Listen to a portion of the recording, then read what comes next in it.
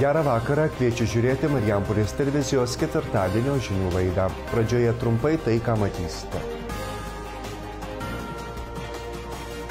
Šiemet devinių daugiabučių gyventojai galės džiaugtis atnaujintomis automobilių aikštelėmis. Marijampoliečių saukoti daiktai iškeliavo į Ukrainą. Paramos akcijos metu gimė daug gražių iniciatyvų. Ryto pagrindinėje mokykloje devynios delegacijos iš penkių valstybių įgyvendinami bendri projektai.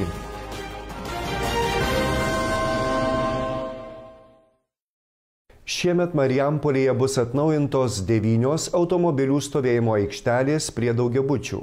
Šiam tikslui savivaldybė skiria apie 600 tūkstančių eurų. 20 procentų projektų reikalingų lėšų susideda patys gyventojai. Meras kviečia gyventojus susitvarkyti dokumentus, pasirengti projektą ir teikti paraišką savivaldybei. Šiemet devinių Marijampolės daugiabučių gyventojai galės džiaugtis atnaujintomis automobilių stovėjimo aikštelėmis. Šią upę problemą savivaldybė sprendžia ne tik biudžeto lėšomis, bet ir kviesdama gyventojus prisidėti finansiškai. Ir tai duoda rezultatą. Šiemet savivaldybės tarybai anksčiau neįprastai patvirtinus biudžetą, anksčiau duotas ir startas naujiems projektams. Tai džiaugiuosi, kad ir šiais metais susidomėjimo šią programą tikrai yra didelis. Bendrai savivaldybės taryba patvirtino devynias automobilių aikštelės prie daugiabučių namų taip pat vieną šaligatvį prie Mokolose prie daugiabučių namų ir vieną grėžinį Šunskų seninijų. Lyginant su praeitais metais, praktiškai objektų išliko tiek pat panašiai kaip, kaip ir kaip per, pernai buvo 10 aikštelių, šiemet 9 aikštelės planuojam. Tai ir Mokolose, ir Vytauto gatvė, ir Jaunimo gatvė, ir, ir Juknevičiaus gatvė, kaip, kaip jau eilė metų labai šitas rajonas tvarkosi gerai. Ta programa tikrai aktyviai naudojamasi, dar keletas namų nespėjau susitvarkyti dokumentų, nes, nes iki vasario pirmos dienos priimami prašymai. Tai kaip ir kiekvienais metais žmonės ir dabar jau, kas nespėjo, gali teikti, pasidaro, priima sprendimus, aišku, daugiabutis, prisideda 20 procentų lėšų, pasidaro projektą ir teikia savivaldybės tarybai. Bendra projekto vertė per 700 tūkstančių eurų, 600 tūkstančių savivaldybės biudžeto lėšus, 120 tūkstančių eurų gyventojų pinigai. Šiuo metu atliekami viešieji pirkimai. Pirmuosius statybos darbus planuojama pradėti kovo pabaigoje. Visi patvirtinti projektai bus įgyvendinti šiais metais kokie yra atliekami darbai, apsisprendžia patys žmonės, kai teikia prašymą, tai vienur yra paprastas remontas, bet daugumo aikštelių, kadangi jūs yra mažos, tai yra praplečiamos, tai daromas projektas kapitalinio remonto ir aikštelės praplečiamos, keičiamos dangos, keičiamos šaligatė, kurie yra prie aikštelės, tai tokie, tokie darbai yra praktiškai visur panašus. Aišku, lietaus nuotekos sutvarkomos, kaip priklauso. Savivaldybės vadovas ragina Marijampoliečius jau ruošti projektus ateinantiems metams, nes procesas ilgas, ypač užtrunka projektavimo darbai. Labai sudėtinga iš tikrųjų su, projekt, su projektavimo darbais, tai tie, kas planuoja jau teikti į kitų metų programą, tai tikrai aš labai linkiu visiems nelaukti rudens juo labiau tikrai nelaukti kitų metų pradžios. Reikia jau dabar ieškoti, priimti tuos sprendimus, kurie daugiabučiuose reikia ieškoti projektuotojų ir kaip įmanoma anksčiau mes prašymus priimam visus metus, bet vėliausiai iki kitų metų vasario pirmos. Tai tikrai visi suskupkite, nes, nes tikrai su projektuotojais ypatingai labai sudėtinga, visi turi labai daug darbų. Jeigu pinigų programai trūksta, tai pirminį galimybė yra tiems, kurie prisideda didesnę sumą pinigų. Tai jeigu ten prisideda 30 kažkas procentų, tai aišku iš karto prioritetas. Tai tikrai raginu aktyviai naudotis, kol tokia yra galimybė. Šiandien ankstų rytą iš Marijampolės į Lenkijos ir Ukrainos pasienį iškeliavo krovinys ukrainiečiams. Jis skirtas mūsų miesto bičiuliui Červonogradui. Savivaldybės duomenimis daiktų vertė siekia apie 50 tūkstančių eurų. Jame pirmosios pagalbos priemonės, čiažiniai, elektros generatoriai ir kiti reikalingiausi daiktai kovoje su agresoriumi. Paramos rinkimo metu gimė daug gražių iniciatyvų, viena iš jų Marijonų gimnazijoje. Vakar vakare Marijampoliečių surinktas paramos krovinys pajudėjo į Červonogradą, Ukrainos miestą, su kuriuo bendradarbiauja Marijampolė. Siuntoje reikalingiausios priemonės ukrainiečiams patiriantiems karo baisumus. Tarp suaukotų daiktų 17 elektros generatorių, kurių ypač reikia ukrainiečiams. Paramos rinkimo metu gimė daug gražių iniciatyvų, viena iš jų Marijonų gimnazijoje. Šiandien Lietuvoje visi, visi gyvename tais įvykiais ir vos tik prasidėjo karas Ukrainoje, vaikai taip pat kėlė klausimus ir, ir į juos reikėjo atsakyti. Tai iš tikrųjų mokykloje buvo ir pamokos vedamos, tokios pilietiškumo pamokos ir jungiamės visoje Lietuvoje į nuotolinę pamoką apie Ukrainą. E, mažuosius vaikus irgi reikėjo nuraminti ir, ir paaiškinti, kad mes saugus, mes ramus, tik tai galim prisidėti teikdami pagalbą. Pirmiausia, turbūt prisidedam maldomis, kaip katalikiška mokykla ir kaip praktikuojantis katalikai. Su mokytojais prieš keletą metų keliavom į Ukrainą ir ten įsigijom kaip gimnaziją draugų ir būtent dabar jie prašo pagalbos. Ir tokia Marija, jinai ten savanoriauja ir koordinuoja Lvove veiklą tam tikrą savanorių ir jinai būtent paprašė e, šarvuotom liemenėm, e, šalmams ir racijoms pagalbos, kiek įmanoma. Tai iš tikrųjų mokytojai labai surėmė pečius ir tikrai aukojo. Už vakaryte iš tėvelių kilo labai puikiai iniciatyva, paskambino 11-oko tautvido mama ir jinai papasakojo savo idėją, kaip jinai nori prisidėti ir kokia jos vizija tokia, kaip įtraukti daugiau Marijampolės švietimo įstaigų. Ir tikrai palaikiau šitą iniciatyvą, nes tai, tai yra žmogiškumas, tai yra tikrumas, tai yra pavyzdys uh, jaunai kartai. Bendruomenė tikrai labai aktyviai dalyvavo, vaikai buvo tokių, kad vakar ryte vaikas sako, Direktoriau, aš atnešiau 50 eurų paukoti. Sakau, tau tiek davė mama ir tėtis, nesako, aš išėmiau iš savo taupyklės. Tai tokių iš tikrųjų to patriotiškumo, tokių uh, pamokų, kada tautai yra sunku ir kai mes galime šitaip mobilizuotis ir veikti taip ir tiek, kiek mes galim ir kaip galim, tai yra nuostabu. Nes mes ne vienas nežinom, koks išauš rytojus ir kokios pagalbos mums reikės. Šios gimnazijos mokytojai saukojo daugiau nei tūkstantį, o tėvai ir moksleiviai pusketvirto tūkstančio eurų. Marijonų gimnazijos moksleivio mama Daiva Kubilienė ėmėsi iniciatyvos įtraukti ir kitas ugdymo įstaigas į paramos rinkimą. Ta žinia nuėjo, visi labai daug kas išgirdo. Ir dabar noriu labai padėkoti kad nepažinodami, čia tai man buvo lengva, mane jau pažįsta, o į kitą įstaigą paskambinus, kur manęs nematė, man, man niekada, direktorius iš karto aš persakiau, ką aš noriu padaryti, iš karto bėgau skleisti žinę. Po to pri, prisijungė ir savivaldybė, užtarė mane, informaciją sklidu žaibiškų greičių, viską sukomunikavom ir Jau žinot rezultatą, koks vakar buvo ir noriu savo dar direktoriai padėkoti, kurie atėjus ir išgirdau, ką aš darau ir sakė, aš tau leidžiu nedirbti, nes tu labai svarbu darbą darai. Mes bendrai surinkom e, beveik 7 tūkstančius per visas įstaigas, tai pinigais prisidėjo apie 10 įstaigų, man atrodo, kitos įstaigos e, gavė tą mano žinę, e, rinko pinigus ir daiktus nešė, nes galbūt puodų ir šakučių jau prekybos centruose pas mus nėra. Šitą po vakar dienos, tai va, vis, vis, visos ugdymo įstaigos lab, labai skubino, nes laiko mažai, skubino daryti, ką jos galėjo. Šitas parodė, kad mūsų miestų vaikučiai, nes sunku apipasakoti, kaip einu prie vartų dar dabėgęs, tėta, paimkite 2 eurus, dar aš nusprendžiau dadėti, tik veškite ir padėkite jūs, jūs tiem vaikam ir, ir, ir tiem žmonėm. Tai tas, žinau, kad mes labai geri, mes mokam susitelkti, mes mokam mylėti. Bet per tokį trumpą laiką, kai mes čia susiklausim Marijampolį, vakar ir jau nuo už vakar vakarų, tai žinokit, stebuklų stebuklas. Pareiga padėti nuo karo kenčiančiai šaliai ir jo žmonėms. Ir iš tikrųjų per labai trumpą laiką mes surinkom tikrai įspūdingą sumą, e, kurios net patys nesitikėjom iš tikrųjų, kad tiek surinksim. E, buvom nusimatę surinkti 1000 eurų, o mums pavyko surinkti virš 3000 eurų.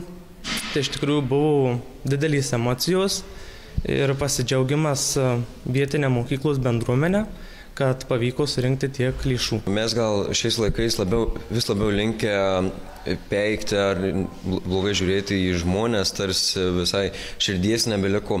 Bet iš tikrųjų, ką, ką galima pastebėti, kad kai suteikia galimybę žmogui padaryti kažką gero, žmonės labai noriai jungiasi ir tai mes labai aiškiai pamatėme mūsų mokykloje. Mes Mes vakar, kai griebėmės labai staigiai, viskas čia vyko, bet norim užtikrinti, kad uh, galėtume pasiekti visą mokyklą, kad ne vienas mokinys, kuris norėtų, nebūtų užmirstas ir praleistas. Ir tikrai uh, užtikrinom, kad kiekvienas, kuris norėjo ir galėjo, uh, galėtų prisidėti. Ir vat, tikrai atrodo vos ne kaip stebuklas, kaip kiekvienas dėjus ir labai nu, nori ir tik iš tėvelių, ir tik iš mokinių pusės. Ir tai matėsi, kad va, žmonėse vis tiek lieka tos do, dorybės. Mes, ko gero, iš prigimties vis tiek norime daryti gerą. Nespėjau tik nuo kameros pabėgti ir akcija tęsiasi. Pažiūrėkit, aš jau turiu dar pinigų, kurie vaikai vakar nespėjo ar darbuotojai įstaigų dasidėti. Tai manau, kad ir kitose bendruomenėse bus tas pats, tai merų komanda, darykit naują sąrašą. Kažkiek pinigų, jau čia tikrai nemažai, bet manau, per visą Marijampolę jų dar bus. Ruoškit naują sąrašą, aš pas jūs vėl ateisiu. Ir ačiū, ačiū visiems, labai ačiū. Nuoširdžiai dėkoju tėveliams, mokiniams, mokytojams, kurie taip aktyviai prisijungia prie šitos akcijos. Ačiū.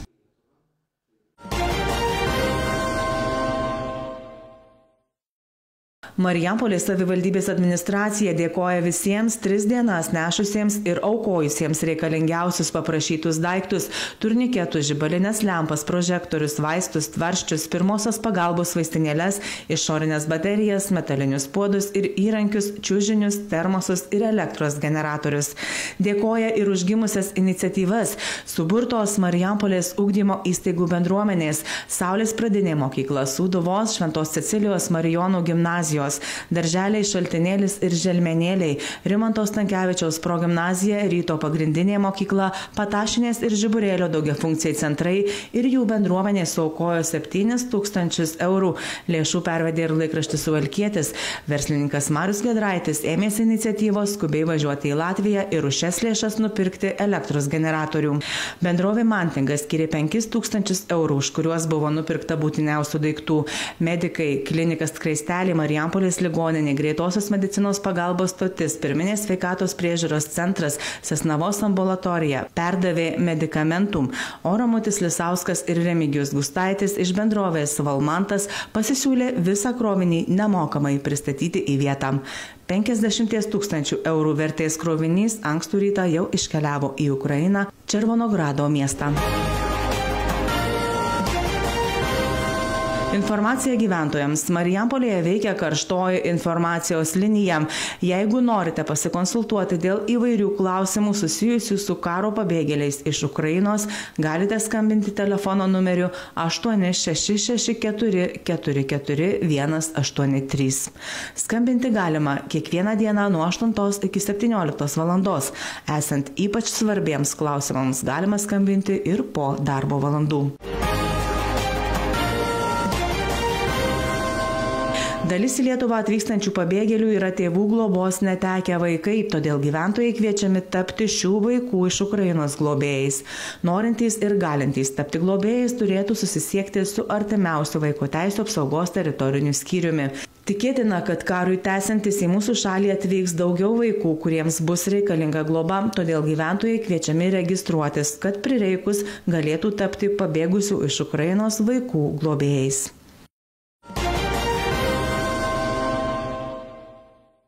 Nacionalinio visuomenės sveikatos centro Marijampolės departamento duomenimis vakar Marijampolės apskrityje patvirtinta 60 naujų koronaviruso atvejų, 48 Marijampolės savivaldybėje, 7 Vilkaviškio rajono savivaldybėje, 4 Šakių rajono savivaldybėje, 1 Kazlų Rūdos savivaldybėje. Lietuvos statistikos departamento duomenimis Marijampolės savivaldybėje per 14 dienų naujų atvejų 100 tūkstančių gyventojų tenka 2324. Marijampolis ligoninė informuoja, kad iš 64 praėjusį savaitgalį paimtų tyrimų šio ryto duomenimis gauta 50 atsakymų, 6 iš jų teigiami vienam darbuotojui ir 5 pacientams. Iš viso šiuo metu ligoninėje serga 12 darbuotojų, COVID-19 skyriuje gydomi 44 pacientai, 27 iš jų reikalinga degonės terapija.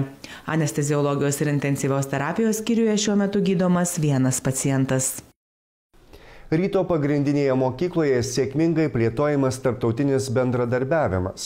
Šiuo metu čia vieši devynios delegacijos iš penkių valstybių, su kuriomis vykdomi du bendri projektai.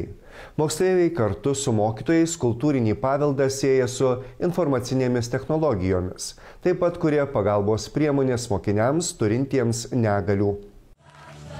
Ryto pagrindinėje mokykloje pastarosiomis dienomis vieši daug svečių iš užsienio, kurie su mokyklos bendruomenė rinkosi ir į bendrą meninę kultūrinę popietę. Mokykla aktyviai bendradarbiaudama ir plėtodama tarptautinius ryšius dalyvauja net penkiuose Erasmus projektuose. Dviejų projektų partneriai - devynios delegacijos iš Portugalijos, Makedonijos, Turkijos, Graikijos ir Rumunijos šiuo metu lankosi Marijampolėje ir kuria bendrus darbus. Vienas iš projektų - kultūrinis paveldas ir informacinės technologijos. Our project is about the cultural heritage Mūsų projektas yra apie tai, kaip kultūrinį paveldą integruoti į informacinės technologijas. Mes jau baigėme sukurti interaktyvius Google žemėlapius Ankaroje, Turkijoje ir Rumunijoje ir dabar Marijampolė mes taip pat turime interaktyvų žemėlapį, kuriame sudėtos Marijampolės lankytinos vietos. Mūsų moksleiviai, kurdami šį projektą, daug laiko praleido prie kompiuterių, viską planuodami, organizuodami, integruodami ten svarbiausius objektus. Tuo pačiu mokykloje lankosi ir kito projekto neįgalus mokiniai gali įveikti sunkumus partneriai. Uh, uh, students. Mūsų projektas skirtas neįgaliems moksleiviams. Pagrindinis tikslas - sukurti mobilėją programėlę, keletą interaktyvių gidų, maršrutų ir panašiai negalių specialių poreikių turintiems vaikams. Mes ketiname sukurti žaidimų, aplikacijų, kad galimybės būtų pritaikytos ir mokytojams bei specialistams. Žodžiu, pagrindinis tikslas, kad mokiniai gautų visą reikiamą pagalbą, atsižvelgiant į jų poreikius. Tai mūsų mūsų pirmas susitikimas ir mes apsitarėme ir planuojame, ką nuveiksime per artimiausius dviejus metus. Pedagogai džiaugiasi ne tik projektų rezultatais ir apskritai bendradarbiavimo galimybėmis, bet ir gaunamomis įvairiaupusėmis naudomis. Mes labai dėkingi už šią galimybę. Apsilankimas Lietuvoje pranoko lūkesčius. Mums tai buvo puikia galimybė pažinti, pamatyti. Aš Lietuvoje esu buvusi tris kartus, bet Marijampolė kitokia. Čia man pasirodė šilčiausi žmonės, visada su šypsenomis ir būtent žmonės ir bendravimas, aš manau, yra viena geriausių patirčių tokiuose projektuose. Atvažiavę sužinojome, koks turtingas Marijampolės miestas tiek švietimo, tiek pramonės, tiek kultūros rytise ir labai svetingi žmonės Lietuvoje. Aš labai dėkinga šeimoms, kurios prieimė mano moksleivius pagyventi, kol mes čia viešime. Aš visiems labai dėkingas. Mokiniam pati didžiausia nauda, nes jų vystosi informaciniai gebėjimai, užsienio kalbų žinios ir ne tik užsienio anglų kalbos, bet ir tų mokinių, kurie gyvena jų šeimose, jie tokias pradmenis tų kalbų kalbų jie tikrai gaus. O įstaigai tai aišku, tarptautinis bendradarbiavimas, ryšiai, bendros veiklos su Europos šalim ir ypatingai dabar turbūt svarbu bendradarbiauti, nes mes turim pavojus šalia ir susivienyti ir spręsti tas tokias ir draugystės problemas ir visokias kitas. Tiek informacijos paruošėme šiandieną. Dėkoju, kad mūsų žiūrite ir iki pasimatymo rytoj. Sudie.